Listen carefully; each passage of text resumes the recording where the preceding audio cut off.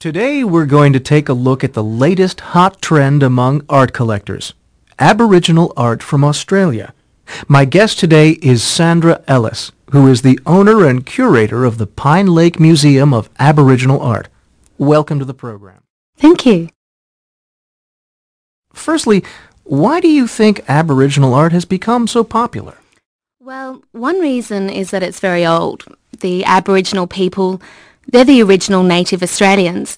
They live far from civilization and they've had very little contact with outsiders. So they've maintained their culture and their art for generations. You can go to remote areas in Australia and see rock carvings that date back um, at least 30, 30,000 years.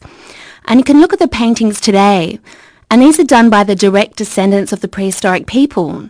And you'll see the same images, the same symbols used in the art today. They've survived for thousands of years. I understand the art is connected to the belief system of the people in some way.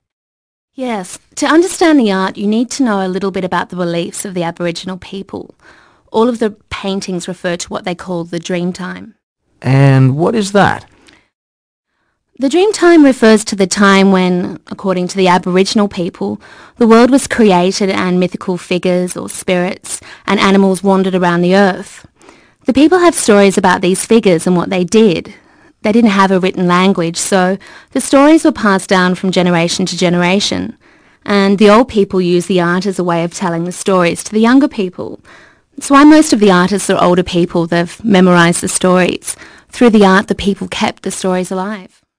What does a typical Aboriginal painting look like?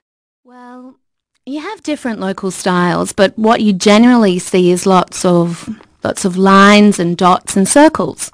So the effect is quite abstract and usually quite colourful, but you'll notice shapes and symbols that recur again and again. For example, there's a snake, which may represent water, or a river snaking through the desert. Other figures might represent animals or people, some paintings work almost like maps. They show a particular place with waterholes and hills and camps even. These kinds of paintings are about a Dreamtime story that happened in a particular place. But uh, some of them also give information about the place, like locations of waterholes and trails and so on. I see. But the important thing is that for the artist, the art itself, the product, is really not important. It's the doing of the art, the process that's important. Traditionally, the paintings were done as part of a ceremony, and they were done as body painting or on the ground, and then they were washed away. So they were temporary.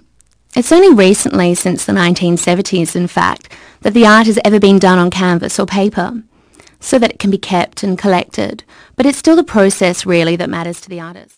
And yet their work now sells for tens of thousands of dollars. Hundreds of thousands, yes. One major painting sold for nearly $500,000 recently. There are artist cooperatives all over Australia, and collectors come from all over the world now. But 30 years ago, you couldn't give the paintings away. It's only been recently that the art and the culture really has come to be recognised and valued for what it is.